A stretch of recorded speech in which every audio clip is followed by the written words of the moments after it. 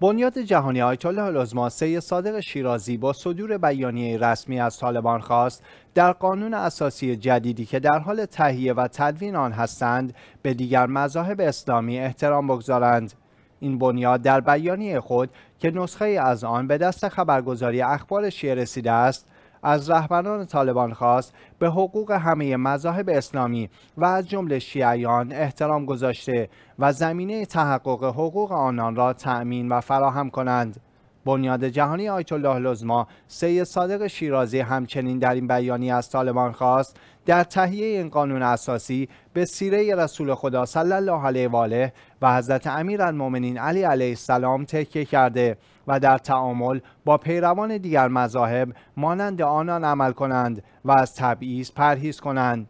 در بخش دیگری از این بیانی آمده شیعیان همواره بخشی از جامعه افغانستان بوده و نادیده گرفتن مذهب جعفری در این کشور غیر ممکن است. لذا باید به آنها احترام گذاشته شود و حقوقشان مانند پیروان دیگر مذاهب اسلامی تأمین شود.